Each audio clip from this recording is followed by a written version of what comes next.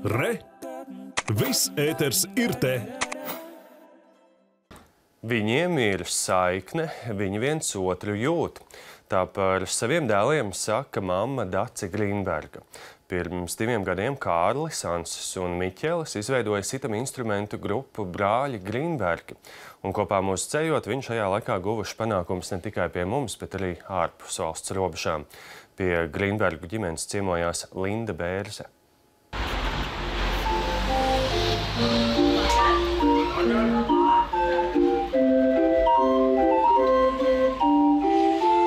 Šādi mūs savā darbnīcā sagaida Grīnbergu ģimene. Māma darbojas pie stelēm, tētis spēlē lejerkasti, bet brāļi uzticīgi pie saviem instrumentiem. Un vienā no plauktiem aiz albuma paslēpusies arī ģimenes mīlule, kaķene Pika. Šī ir vieta, kur viņi visi kopā pavada ļoti daudz laika. Vecāki auž un šuj, bet brāļi, kad vien var spēlē.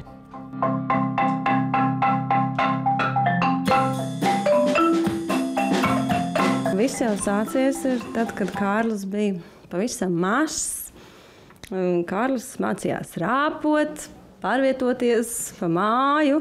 Un bija varena labs mērķis, uz kuru tiekties. Tās bija vectētiņa bungas. Bija kur pieķerties, kur piecelties, un tad vēl klusi, tad viņš skanēja. Un tad Ansis pievienojās, tad viņi kādreiz divi tā kaut ko uzspēlēja. Un tā, un tā, un Miķels pats par sevi saprotams.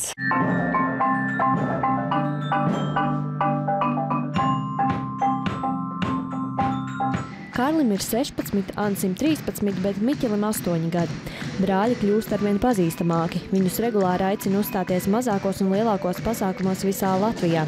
Puiši atzinību guvuši arī pasaules mērogā. Piemēram, šovasar Pasaules talantu olimpiādē Holivudā viņi ieguva vairākas zelta medaļas. Bija milzīgs gandarījums, un mēs bijām lepni, ka mēs varējām aizstāvēt Latviju šāda mēroga pasākumā.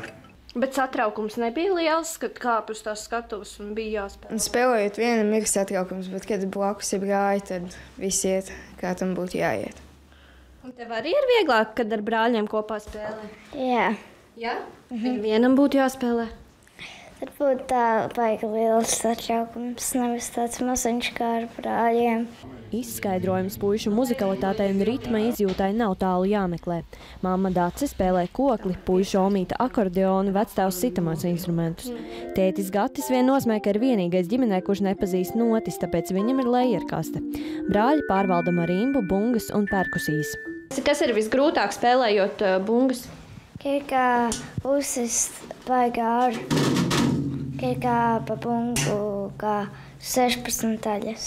Un ir bijis tā, ka uh, publika ir tik laba, ka aiziet tādā azartā, ka sāk spēlēt pārāk stipri. Un bija tā, ka saplīs gan vālīt, un ir saplīs arī taustiņš priekš marimbas. Mēs jau trīs taustiņus esam mainījuši. Vecāki atzīst, ka visgrūtāk ir tad, kad jādodas uzstāties ārpus valsts. Lielie instrumenti jāizjauc, jāsapako, jādomā, kā tos pārvadāt.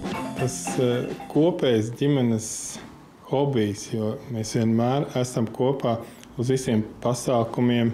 Mēs uh, braucam kopā, nesam instrumentus kopā un, un uh, ko, kopā darbojam. Tā ir kopā būšana. Un šī, acīm redzami, ir viena no ģimenes būtiskākajām vērtībām. Nevelti uz darbnīcu ikdienas līdz dodas pat kaķis. Nu, bija gadījis, ka kaķis te lec un skrien pāri un visādi ir gājis. Nāc, nāc, klausīties. Ziemassvētkos brāļi ar vecākiem kā ik gadu dodas pie omītes un vectētiņa, lai skaisti pavadītu svētkus, un visi kopā vēl plašākā ģimenes lokā pieskandinātu māju ar dzīvu mūziku. Linda Bērzīva, Orža Pitskis, Latvijas televīzija.